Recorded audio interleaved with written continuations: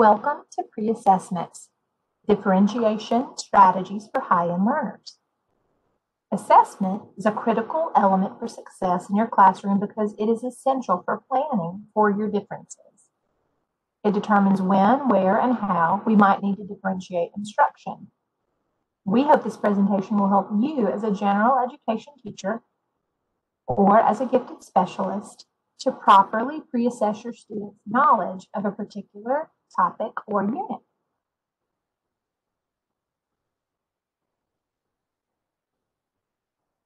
In this presentation, we will consider how pre-assessment data focuses and increase student learning, and we will examine formal and informal strategies to help you measure your students' knowledge level at the beginning of whatever unit that you're about to cover in your classroom.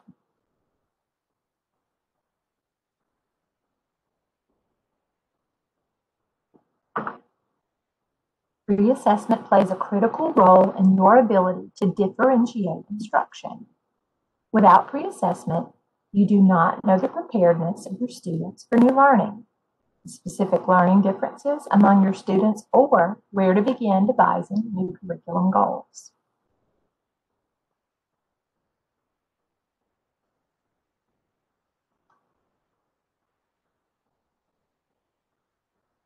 Why is pre-assessment important in meeting the needs of gifted learners? The Alabama Administrative Code lists placement and service delivery options for gifted students. Gifted students' need for complexity and accelerated pacing must be accommodated for in the general education program. Accommodations may include strategies such as flexible skills grouping, cluster grouping with differentiation, curriculum compacting, subject and grade acceleration, dual enrollment, and advanced classes. Each LEA must establish and implement a procedure for considering any requests for subject or grade acceleration. The procedures must be approved by the State Department of Education and will be included in the LEA Plan for Gifted. In order to meet the needs of all learners, in particular your high-end learners, pre-assessment is a way to differentiate your instruction to best meet those needs of that student. Using pre-assessments and narrowing down your students' strengths and weaknesses will help determine those flexible skills groups and cluster groups, as well as curriculum compacting to allow those high-end learners to compact out of something that they're already familiar with. You need to either choose or design pre-assessments to identify your students' prior knowledge. The result of those pre-assessments are vital in designing lessons and groupings. Remember, just as with your regular students, gifted students' ability levels vary depending on the individual. A particular gifted student may exhibit strengths in one area, struggle in another area.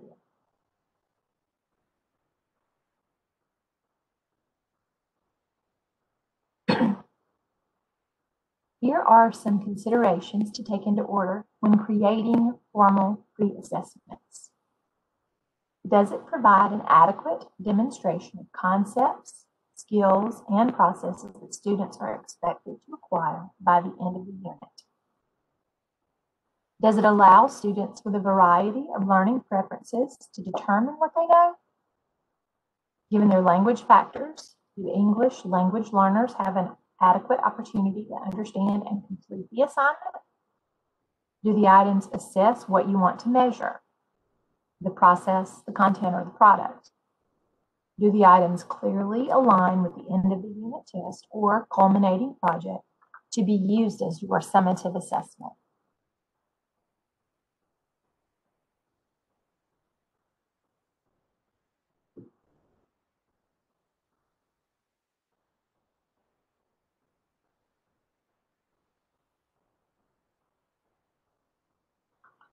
Here are some pre-assessment advantages. When you use pre-assessment, you understand and know the readiness level of your students. It helps you avoid teaching what students already know, which fosters underachievement in your gifted population.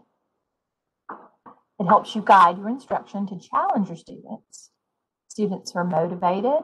It helps you use planning and instructional time more effectively. And it helps you plan for meaningful learning opportunities to happen within your classroom. There are numerous advantages to pre-assessing. It's important to know the readiness level of your students. And from a gifted perspective, it's vital to know and to allow those high-end learners the opportunity to show their knowledge level and provide alternative educational experiences for those students. This helps prevent underachievement. If gifted students are able to prove through formal or informal pre-assessments that they are experts or have mastered that particular skill and are able to move on to another topic or project, this also helps with boredom and often behavioral issues within the classroom.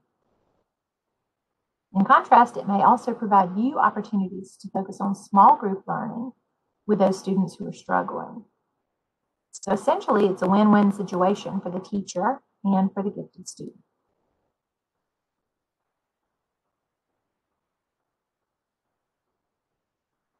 Here are some examples of both formal and informal strategies used in pre-assessing students. Most of us are familiar with many of these strategies, especially the formal strategies. If you're not familiar with some of these, please invite the gifted specialist to your classroom to model some of these strategies.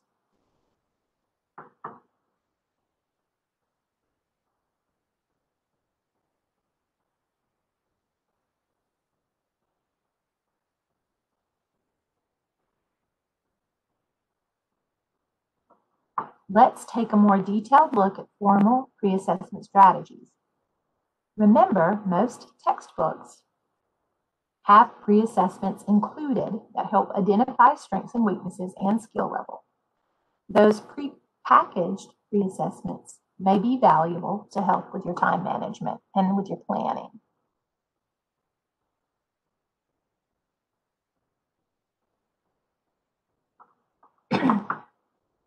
In doing structured observations, you may be able to pre-assess um, students under particular circumstances. You need to think about what specifically you want to observe and then set up a learning task that will, that will enable you to do so.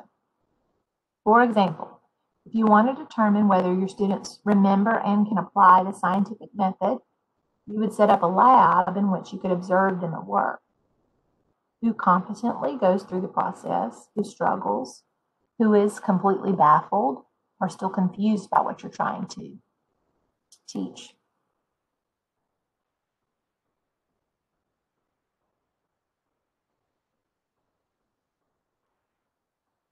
Journal prompts and written responses are also good.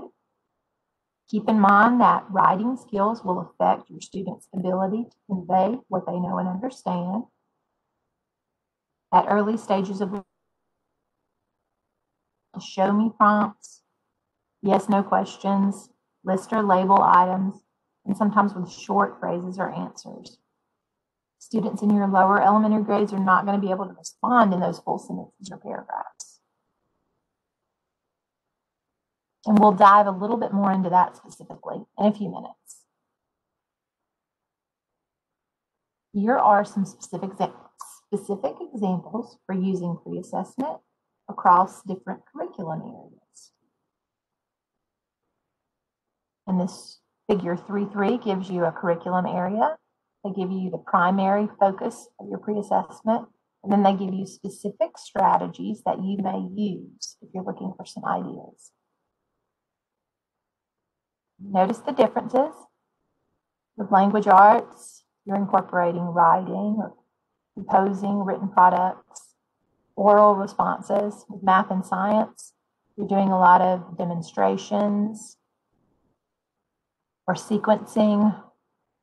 Okay, music and art. That would be observing a performance or demonstrating a skill. And of course, with technology and IT business applications, you would be solving problems, sequencing steps, observing a performance.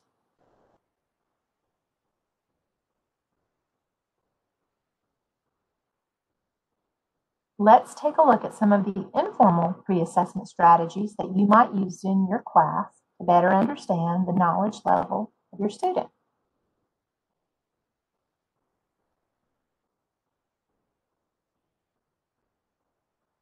Topic webs are a great way to gauge knowledge on any particular topic or subject.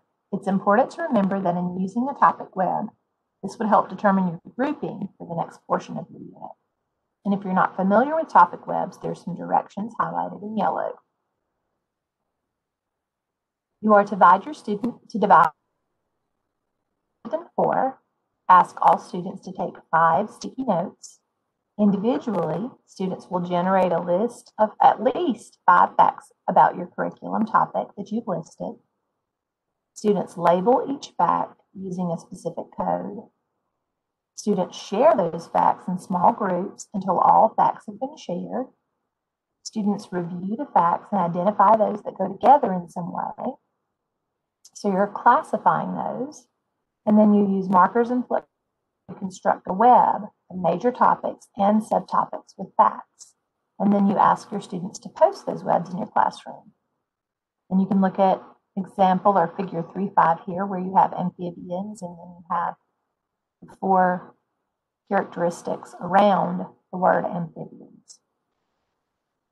Topic webs represent the visual spatial learning preferences of the multiple intelligence theory. Something also to consider with topic webs, because early readers and writers will be more limited in their ability to record their ideas, primary webs may be completed as a large group activity. This would be a great time to invite your gifted specialist into your classroom to collaborate, observe, and listen to those conversations happening during those topic webs.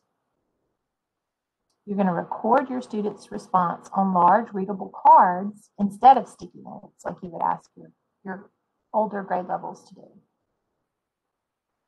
Think ahead when you're dealing with those younger students Think ahead about um, how you will respond to inaccurate ideas when they're presented. Will you ask the class for a consensus on a suggested fact? Will you create a section labeled, let's check this out? Or say, let's do a fact search on that later? Or will you accept the idea and then teach to it later so the misinformation is corrected? With your primary kids, once you have the ideas recorded, Ask your students to help you put those ideas into groups that are like ideas. And encourage them to label the group of cards, thus creating subtopics. And then you would model the construction of the web, asking your students to help you place the cards where they belong. And that might be something that you would be able to do with those younger or those lower grade levels.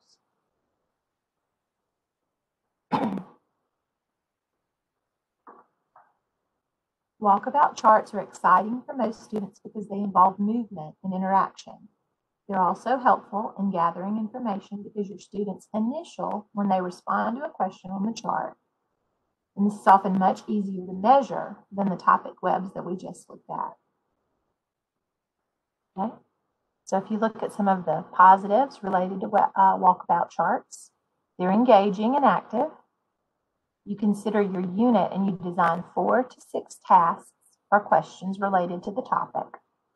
You distribute charts to your students.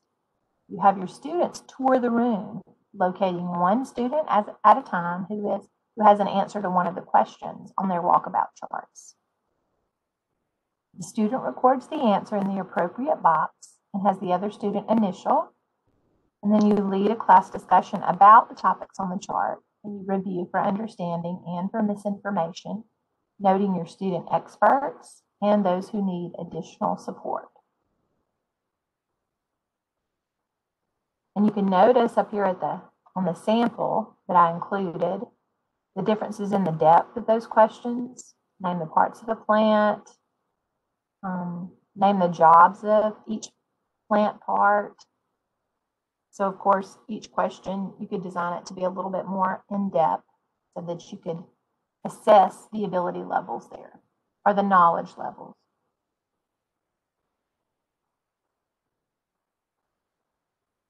I've participated in several conferences where presenters have used walkabout charts to get us to know one another in the room, or they were looking for experts on a topic. And they are certainly a great way to, to assess those things, but they also allow for some flexibility of movement.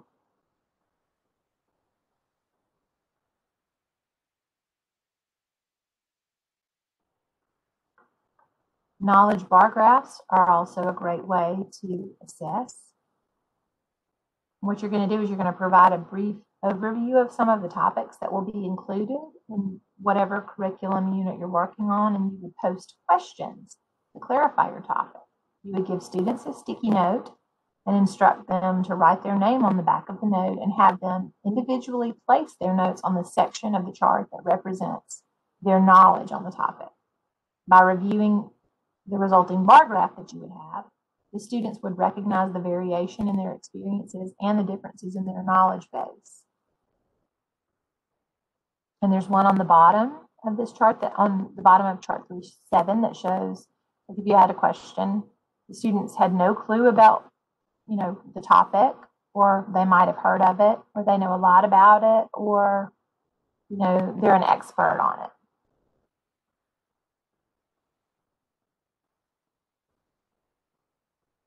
And you may want to pose some extra questions on a knowledge bar graph to further clarify your topic, like can you name the planets in order according to their distance from the sun? If you had a if you had a bar graph that was asking about the planets, or can you list characteristics of different planet planets? Can you um, tell me what creates a day and a night? Can you describe what causes seasons? So those those questions that are more in depth will certainly help you to see the uh, see the knowledge levels, especially in those high end learners. And it's just another quick and easy way to find your experts on those topics or on those units. Check-in slips are also a great way to pre-assess. I know I've used exit slips in my class before, and check-in slips are a lot like that. Check-in slips are a set of two or three quick questions or tasks that students complete to provide a general sense of their background knowledge on a curriculum or topic. They're designed to give you a snapshot of students' understandings, and you're looking for your experts as well as those who potentially struggle.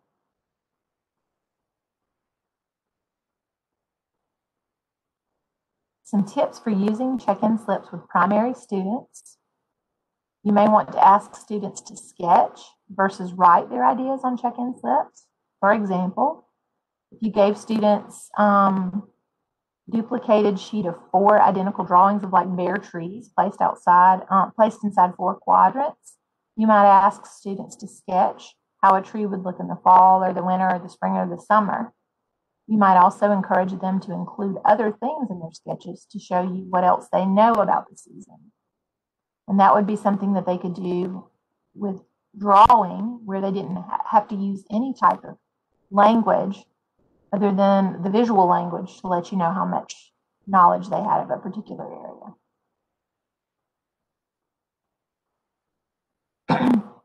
Excuse me. Visual organizers are also a concrete way to pre-assess strengths and weaknesses. Students who exhibit strengths in linguistic and visual spatial areas often do well with visual organizers.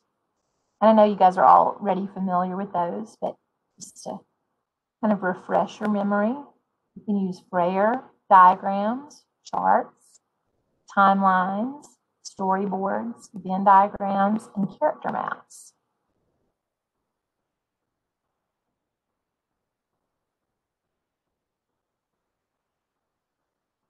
You can also use a pre-assessment carousel. And a pre-assessment carousel is where students rotate um, through a set of posted topics or questions related to your curriculum unit.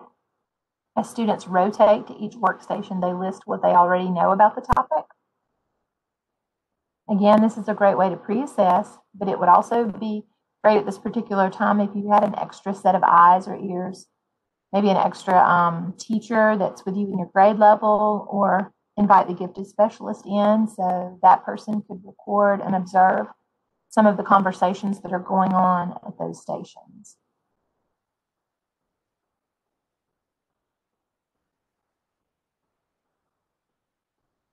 Online discussion boards. You could ask your students to comment on an online class discussion about a topic that you have listed for an upcoming unit. You could have students consider what they already know or what they would like to learn about the topic.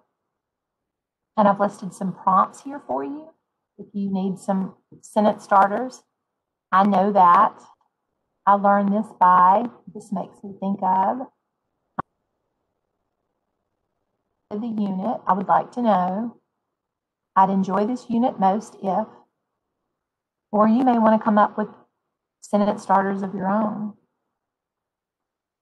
Since many teachers across the state are teaching virtually or doing a hybrid of virtual and face-to-face, this is a great way to assess students' knowledge on topics and subject areas.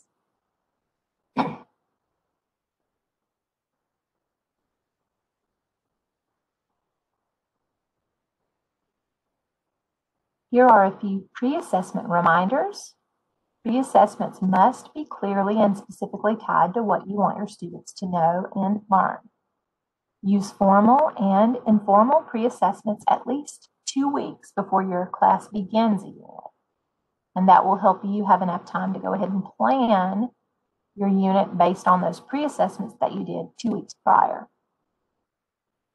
Pre-assessments preview unit topics for your students, and they may reveal some insightful responses from some of your students.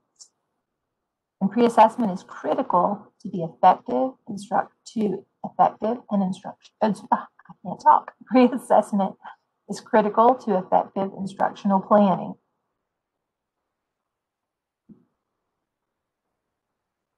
Remember to, in order to truly meet the needs of your gifted learners and all of your learners, it's essential to pre-assess and design instruction so that students will benefit. In using pre-assessment as a differentiation strategy, you are working to meet the individual needs of your students, but you're allowing those high-end gifted students an opportunity to show their knowledge and to move on to another area or topic for a time.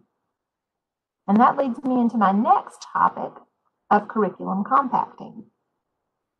Stay tuned for an in-depth look at curriculum compacting and how you can use pre-assessments to allow those gifted learners to compact out of a subject or a topic or a unit. Compacting is a great way to meet the needs of your gifted learners.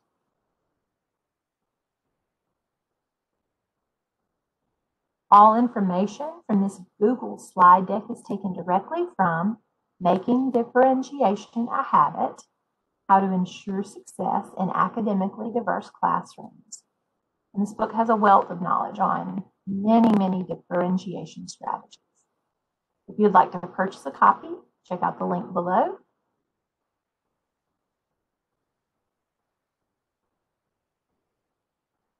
And if you have any more questions regarding differentiating your instruction using pre-assessments, I can be reached at ashley.strickland at alsde.edu.